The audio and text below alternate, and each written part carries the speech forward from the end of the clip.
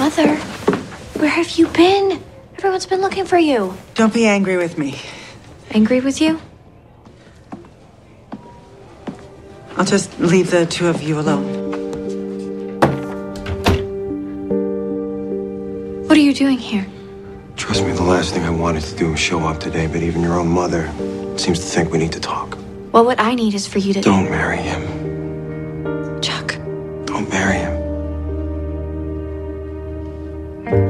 Those people out there are waiting for me. Yes, they are.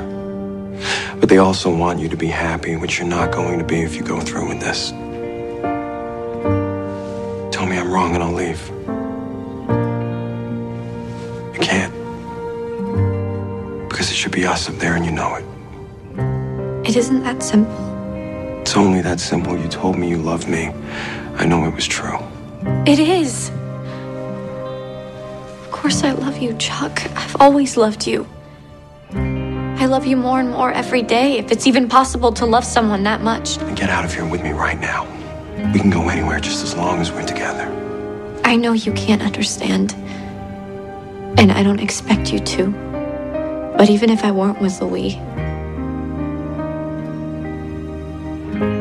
I couldn't be with you. Just know that not living with you is the hardest thing I've ever done.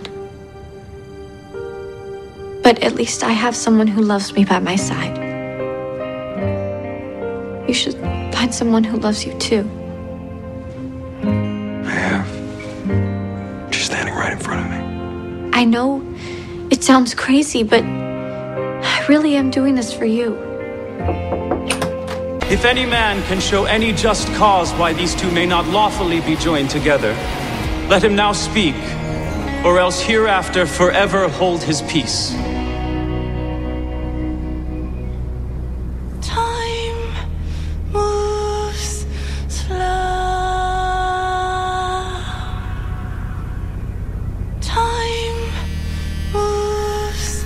If no one else is going to say it, I guess I have to. The person who should be objecting isn't Chuck Bass, but the bride herself. Don't believe me? Watch this. Of course, I love you, Chuck. I've always loved you. I love you more and more every day, if it's even possible to love someone that much.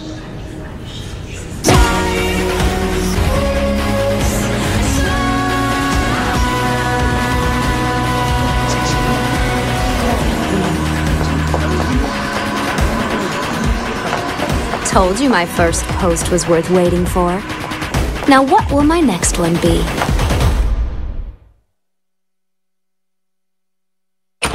I can't believe you did this. Good, because I didn't do it.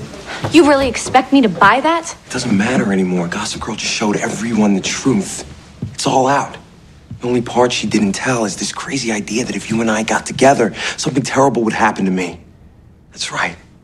Serena told me about the pact. She, like me, cares about you and your future. It's not my future I'm worried about. Blair, you can't honestly believe. What? Can't honestly believe that you were dead? Because you were, and you weren't coming back. The only thing I knew I could do in that moment was to find a way to try and save your life, whatever it took. Even though I knew that once I did, you would never stop trying to ruin mine. So, the truth is out. But that doesn't mean I'm going anywhere with you.